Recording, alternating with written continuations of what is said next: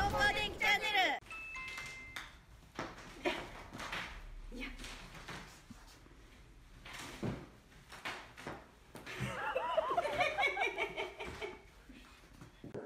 モスキート音あの甲高い音のやつを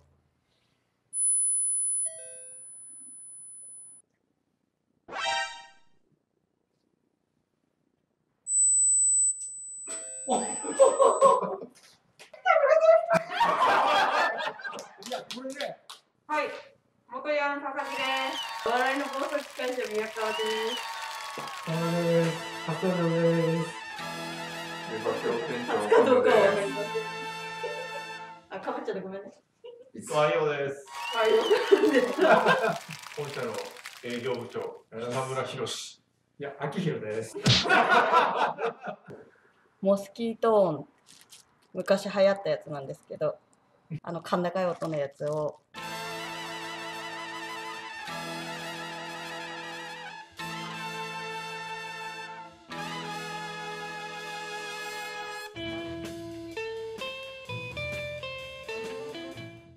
今回は北村さんのおじさん度を測るテストをします。イエイエ彼は一体何歳なのか。ではやっていきますーイ。はい。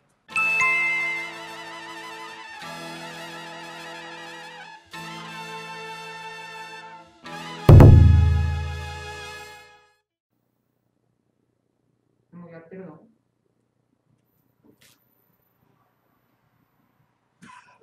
最近はみんな聞こえるやつでやった方がいいんだよ。本当ですか？いや、そういうことじゃなくて。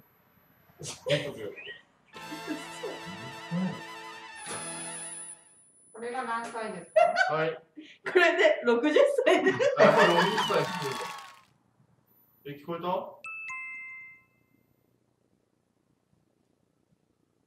もうこれ聞こえない人にとってーイ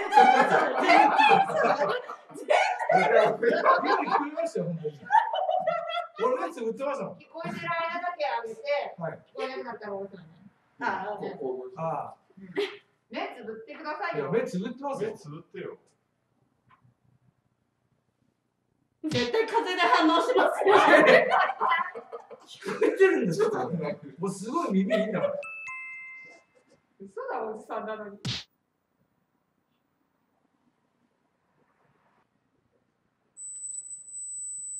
すごいここれ何歳これみんなですあ、やっぱりな。これ聞こえれ。る。聞こえますね。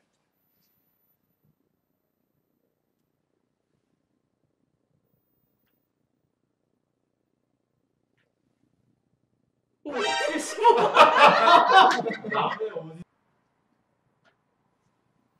それ。いや、僕だけじゃあちょっと佐々木さん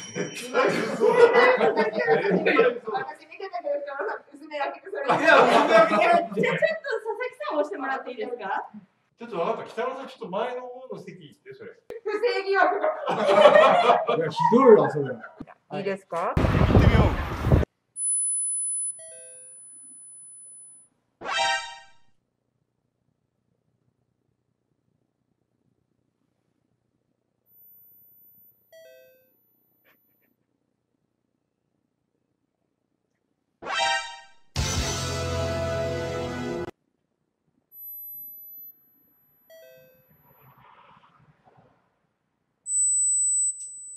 ない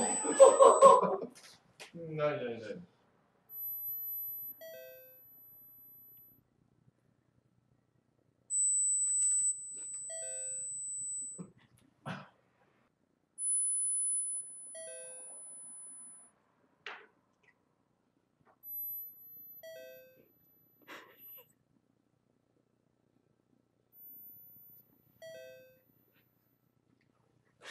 絶対そうんで間違いないって。いや、これね、ここにね、なんかね、同じように聞いたんだよ。これね、北村さん60歳以下でも聞こえてなかった。いや60歳以下で聞こえないのに30歳以下で聞こえないなんでそう聞こえる音とね、聞こえない音だろ。いやでもそうかも39度になったらああ、でもでしょだから聞こえるやつ聞こえないから。やっぱりということで、北村さんはの年齢は70歳ということで。ありがとうございました。ありがとうございました。ありがとうございました